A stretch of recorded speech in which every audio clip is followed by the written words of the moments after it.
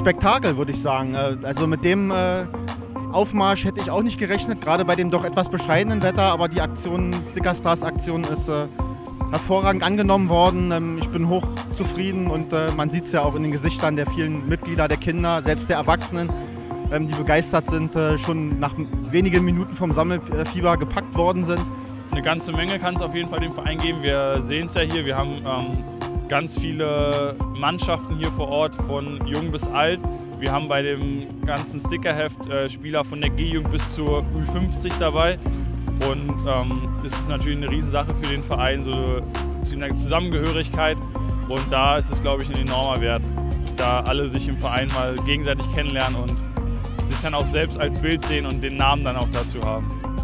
Ich hatte von einem ähm, anderen Verein in Berlin äh, erfahren, von Borussia Pankow, die auch dieses äh, Projekt schon mal äh, umgesetzt hatten.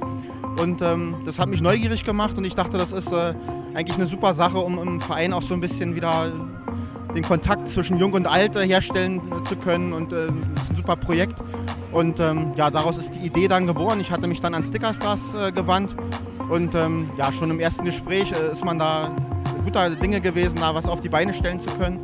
Und äh, dann lief das organisatorisch wirklich sehr gut, äh, muss ich sagen. Ähm, von, von beiden Seiten, sowohl von Stickerstars als auch von Vereinsseite.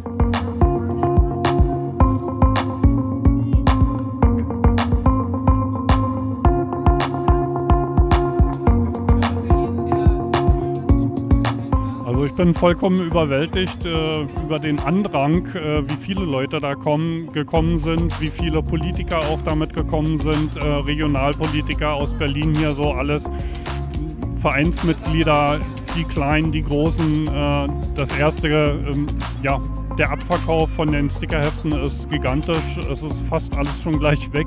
Wir müssen gleich nachordern, also sieht sehr, sehr gut aus.